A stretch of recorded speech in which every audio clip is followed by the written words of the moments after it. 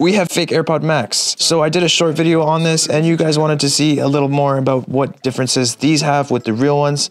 So I did something crazy and I spent a thousand Canadian dollars on real AirPod Maxes. So these are the fake ones. Now, I didn't think they were so bad, but when I have a look at the real ones, I'm probably gonna feel a lot differently. So let's check out the real ones first and then let's do a comparison. These are the original AirPod Maxes and they actually come in two packages. You have to buy the cushion separately, which is so stupid, but that's just the Apple way. So we're gonna open this up.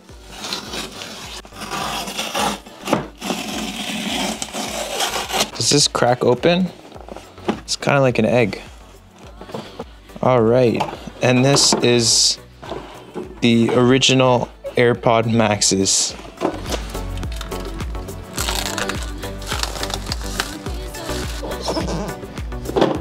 So here it is. These are the original Apple AirPod Maxes. Let's check it out. Ooh, fancy. Again, for $1,000, uh, like I don't know how impressed I'll be, but these feel amazing. And they got they got weight to them. They're pretty heavy. We'll remove the seal and we'll take Oh. So they do come with cushions. Okay. Don't know why I did that. Anyway, I'll use those for the gym, I guess. All right. So these feel extremely premium, which is to be expected. That goes smoothly, unlike the fake AirPod Maxes. So first thing I noticed, obviously from the fake, these feel extremely premium. They're heavy. The etching on the actual cups is done properly. And as soon as you put them on, the noise cancellation kicks in right away. You can't hear anything. These are actually really, really cool. Again, for the price point, not worth it, but for a premium user, you'll probably love these. Now I'm gonna put these side by side with the fake ones, and we're gonna really dig down and see what the real differences are.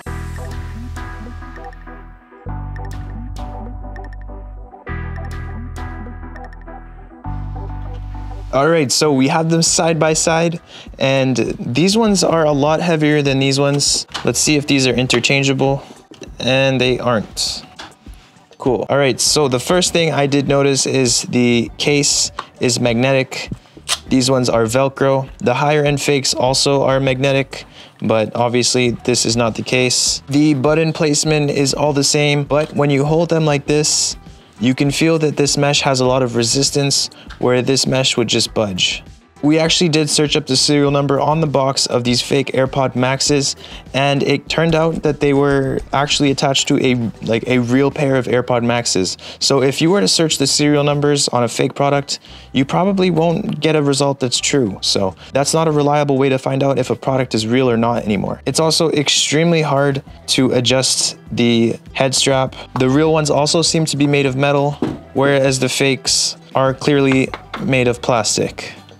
These do not seem to be high-end replicas, but if you do get high-end replicas, it may be hard to actually find out whether they are real or not.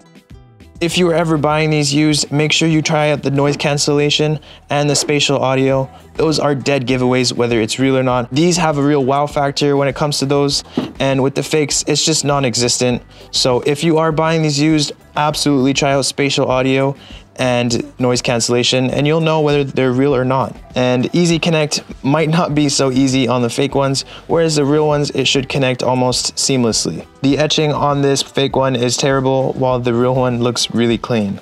You want to make sure that they pause when they're removed and that the case turns them off. If you can still play music while the AirPod Maxes are in the case, you have a fake one. Anyway guys, that is all for today. Thank you so much for watching. Thank you for all the support. I really appreciate it. I will see you guys in the next one.